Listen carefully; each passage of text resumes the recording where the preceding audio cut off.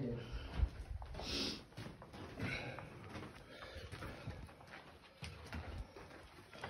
Oh shit, Maybe That was close.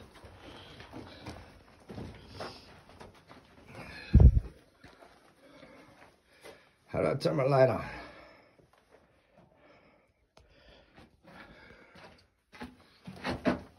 Uy, cabrón. Where you at, Ryan? I can't see Run, dude, run! Just kidding.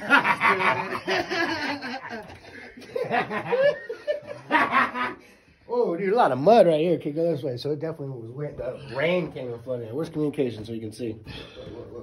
Watch your heads and watch the muddy, muddy.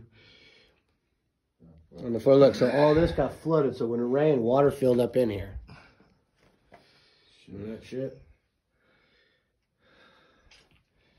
You like a clay. Big go rocky rock here. That's just it loops around over on this side. Some reason it's just ooh, rock. Watch your head, nigga. Yeah, I know you too. Watch your foot right there. Yeah, watch your head and your feet. Some of these are just loop arounds.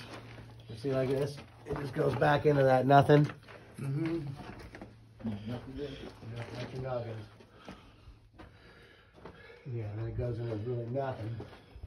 That's how some of these don't go super deep. The other one I'll take in right now is kind of trippy, so. This one, this one's pretty something else. I should have had mine. So watch your head. I didn't know we were coming to the cave. I should have grabbed them head flashlights. Like, where'd you think we were going? That's what I, I told know you. for a ride. I said we're gonna go right over to the cave. Yeah, oh. let's go right to the cave. All I heard was Danny get on the dirt bike and fucking ride that shit. All right. If I could have known you were gonna ride it like you did, I wouldn't have said that. You should have.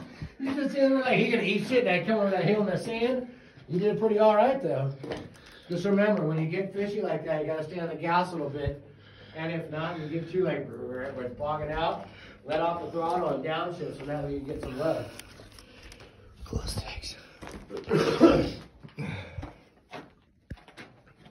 You getting eaten back there? Nigga, you dropping all the fuel because you.